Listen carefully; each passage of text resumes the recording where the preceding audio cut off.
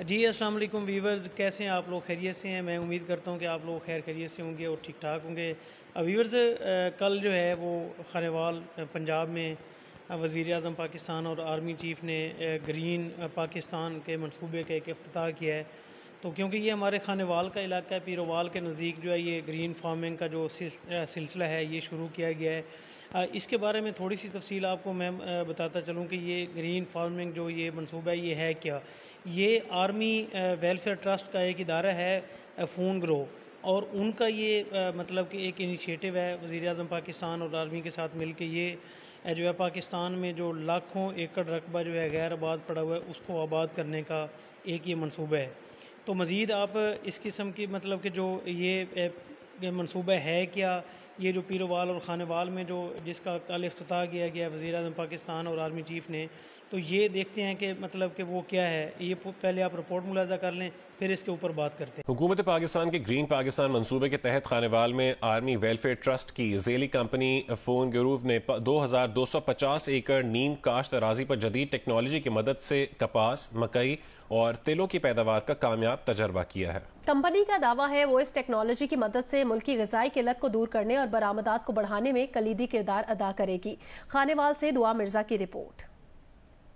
ये है खानेवाल का इलाका पीरोवाल, जहाँ पाकिस्तान का पहला मॉडल फार्म बनाया गया है। फौजी फाउंडेशन की कॉरपोरेट कंपनी फ़ोन ग्रो की जानब से ग्रीन पाकिस्तान इनिशिएटिव का एक ऐसा प्रोजेक्ट है, जहाँ जदीद टेक्नोलॉजी की मदद से एक कंट्रोल रूम से हज़ारों एकड़ के खेत कंट्रोल किए जा सकेंगे। कैसे? आइए देखते हैं।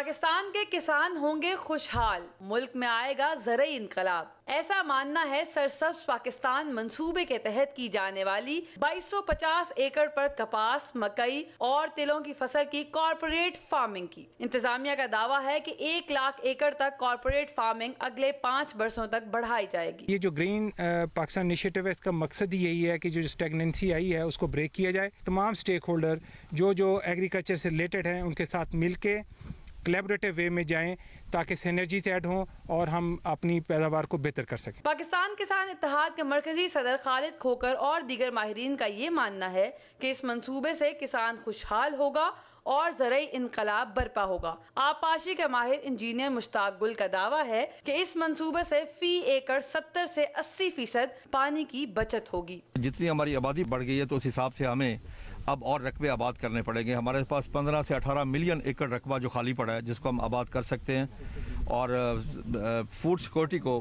फिर जाके हम कर सकते हैं, उसके बगैर मुमकिन नहीं है। ये एक शुरुआत है हमारा। इस वक्त जो है तकरीबन वन थर्ड एरिया जो है हमारा वो कल्टीवेबल वेस्ट है, जिसको आप कहते हैं बंजर जदीद।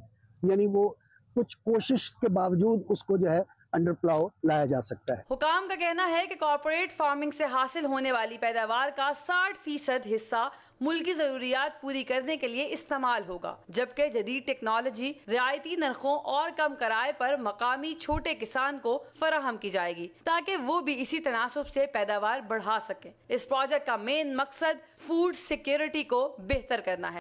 जी नाजीन आपने ये रिपोर्ट जो मुलाजा की, इसमें आपको बड़ी तफसील से एक तो जो है पाकिस्तान किसान इतहाद के मरकज़ी सदर जो हैं, खालिद खोकर उनकी भी आपने गुफ्तु सुनी, इनके अलावा ज़रूरी महरीन की भी बात सुनी, और ये रियलिटी भी है कि पाकिस्तान में जो है वो लाखों एकड़ रकबा जो है वो गैर आबाद इस वक्त जो बंजर जिसको कहते हैं वो पड़ा हुआ है। और अगर यहाँ पे मतलब अच्छी फ़ार्मिंग करके जिस तरह का ये प्रोजेक्ट है, ये करने जा रहे हैं, अगर इस तरह के प्रोजेक्ट लगाए जाएँ जिनमें समझ लें कि आप मतलब कि ग्रीन मुल्क बनाने के लिए एक ज़बरदस्त किस्म की इनकलाबी असलाहत होंगी। और इसमें फ़ायदा क्या होगा? ज़हरी बात है, हमारे खानेवाल के जो इलाका जहाँ पे ये कैम किया गया है तो हमें इलाकाई तौर पे भी ये, इसको बहुत बड़ी हमें सपोर्ट मिलेगी इलाके को। और ये जो ये जो फार्म तैयार किया गया है, जैसा कि आपने वीडियो में भी मुलाजा किया है कि ये पाकिस्तान में अपनी नोयत का ये पहला प्रोजेक्ट है, जिसका अफ्ताह ये खानेवाल में हुआ है। तो आगे मज़ीद इन्होंने इसके ऊपर काम करना है पूरे पाकिस्तान में। अगले पाँच साल जो हैं, इनके ऊपर काम होना है और अगले पाँच सालों में जो वीन है वज़ी अजम पाकिस्तान का, वो है कि एक लाख एकड़ जो है, उस तक इस को बढ़ाया जाएगा, इस फार्म हाउस को। तो ये एक ज़बरदस्त किस्म का इनिशिएटिव था खानेवाल की आवाम के लिए भी, एक मेरे ख्याल में बड़ा बेहतरीन और हमारा जहरी बात है कि इलाके के लिए भी ये बहुत बड़ा एक एजाज़ की बात है कि ये जो पहला फार्म हाउस है, ये हमारे खाने वाल में बना ये आज मेरी मालूमती वीडियो थी जो मैंने आपसे शेयर की। मज़ीद इस तरह की जो वीडियोज़ हैं वो देखने के लिए मेरे चैनल को सब्सक्राइब कर दीजिएगा। बेल आइकान को ज़रूर प्रेस कर दें ताकि नई आने वाली वीडियोज़ आप तक पहुँचती रहें। शुक्रिया।